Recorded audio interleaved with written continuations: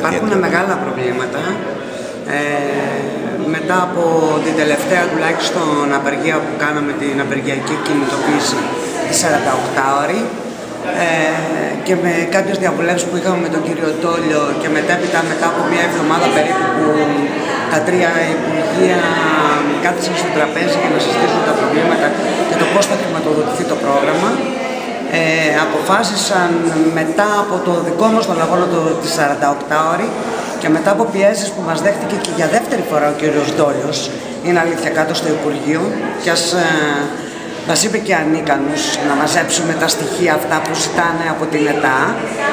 Ε, αποφάσισαν ότι θα πρέπει να εντάξουμε μέσα στο πρόγραμμα τα ε, άτομα με κάρτα ανεργίας οι ωφελούμενοι, οι εξυπηρετούμενοι είναι οι γέροντες, οι ωφελούμενοι είναι οι άνεργοι.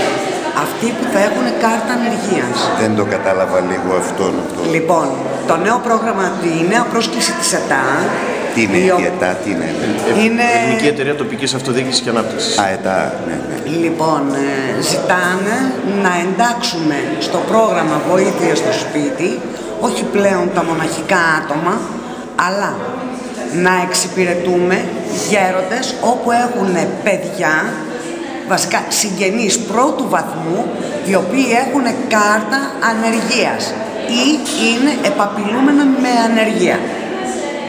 Έτσι. Άτομα δηλαδή που μπαίνουν σε κάποια αναπτυξιακά προγράμματα και όλα αυτά είναι επαπειλούμενα με ανεργία.